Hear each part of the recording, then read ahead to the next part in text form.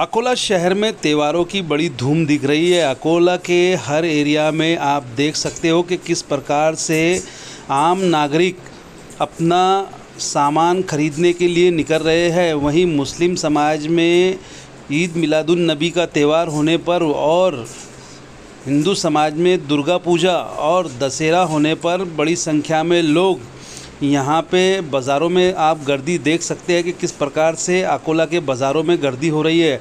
अकोला के मेन बाज़ार गांधी चौक, कपड़ा बाज़ार, मोहम्मद अली चौक सराफा बाज़ार और बाकी सभी एरियाओं में बड़ी तौर पे लोग अपने कपड़े ख़रीदने के लिए निकल रहे हैं। इस प्रकार से लोग खरीदी कर रहे हैं। मानो जैसे कि बाद में ख़रीदी के लिए कुछ बचेगा ही नहीं। आम नागरिक और इसी प्रकार से रास्ते पे चलने वाले परेशान हो गए हैं। कई बड़ी संख्या में लोग यहाँ पे अतिक्रमण करके रास्ता रास्ता बिल्कुल पैक कर रहे हैं। वहीं दूर दूर से लोग अकोला के मेन एरियो में पहुंचकर अच्छी चीज़ों की ख़रीदारी भी कर रही है। देखिए अकोला शहर के एरिया की एक झलक।